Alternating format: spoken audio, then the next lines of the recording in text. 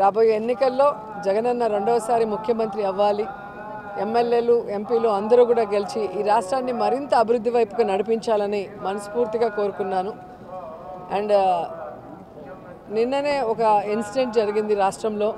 నిజంగా ప్రతి మహిళ కూడా బాధపడే విధంగా ఈరోజు గీతాంజలి తన జీవితాన్ని చాలించడం చాలా బాధేస్తుంది. కేవలం ఇన్నోసెంట్గా తనకొచ్చిన ఇంటి పట్టాని సంతోషంగా మీడియాకి చూపించి ఆనందంగా మాట్లాడటమే ఆవిడ చేసిన తప్పని నేను అడుగుతున్నా.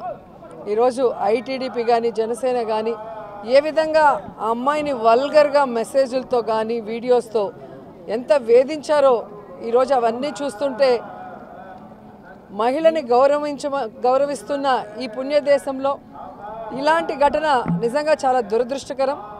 ఎవరైతే ఈ కార్యక్రమం చేసి ఆ అమ్మాయి చావుకు కారణమయ్యారో వారందరికీ పనిష్మెంట్ ఇవ్వాలని భగవంతుడిని మనస్ఫూర్తిగా కోరుకున్నా. అలాగే గీతాంజలి ఆత్మకి శాంతి కలగాలని మనస్ఫూర్తిగా కోరుకుంటూ నిజంగా ఈరోజు ఇద్దరు ఆడబిడ్డలు తల్లి లేని బిడ్డలుగా మిగిలిపోవటం దురదృష్టకరం. ఇప్పటికైనా బుద్ధి తెచ్చుకొని ఈ ఐటీడీపీ కానీ జనసేన కానీ వారి హద్దుల్లో వారు ఉంటే బాగుంటుంది మహిళలు అంటే చులకనగా మాట్లాడటం వల్గర్గా మెసేజ్లు పెట్టడం చివరికి మనిషి ప్రాణాలు తీసుకునే స్థాయికి వాళ్ళని హ్యూమిలేట్ చేయడం కరెక్ట్ కాదని కూడా ఈ సందర్భంగా తెలియజేస్తూ సో మహిళలందరూ కూడా దీని మీద గట్టిగా స్పందించాలి ఒక నిర్ణయం కూడా తీసుకోవాలి. రాబోయే ఈ ఎన్నికల్లో మహిళల్ని చులకనగా చూసే మహిళల్ని కేర్లెస్గా చూసే మహిళల జీవితాల్ని నాశనం చేసే ఆ తెలుగుదేశం జనసేనని తరిమి కొట్టాలని కూడా కోరుకుంటున్నా.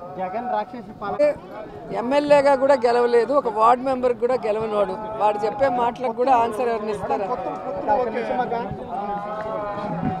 వాళ్ళకి జగనన్నతో పోటీ చేసే దమ్ము ధైర్యం లేదని అర్థమైపోయింది. గెలవలేమన్న ఒక భయం పట్టుకుంది కాబట్టే ఎవరు దొరికినా వాళ్ళతో పొత్తు పెట్టుకొని వాళ్ళకి సీట్లు పంచుకునే స్థాయికి ఈరోజు వాళ్ళు దిగజారిపోయారు. సో జగనన్న దమ్మున్న నాయకుడు ప్రజలకి మంచి చేసిన నాయకుడు. భగవంతుడి ఆశీస్సులతో ప్రజల ఆశీస్సులతో మళ్ళీ రెండవసారి ముఖ్యమంత్రి కాబోతున్నాడు. ఈ రాష్ట్రాన్ని మరింత అభివృద్ధి వైపుకి నడిపిస్తూ ప్రజలకి మరింత సంక్షేమాన్ని ఇస్తాడని కూడా నేను చెప్పగలను.